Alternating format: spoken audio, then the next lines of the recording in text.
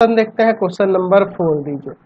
Four इसे मान लेते हैं, माना y बराबर में log x चलिए इसे डिफ्रेंशिएट करते हैं। Differentiating with respect to x तो क्या हो जाएगा यहाँ से? D Y by D X log X का क्या हो जाएगा? वन बाई एक्स हो जाएगा। इसे दोबारा से डिफ्रेंशिएट करना है तो again differentiating with respect to X क्या हो जाएगा यहाँ से? डी स्क्वायर वाई बटा में D X square one by X का minus one by X square अवकलन होता है। मैंने बता रखा है। चलते अगले क्वेश्चन पे। क्वेश्चन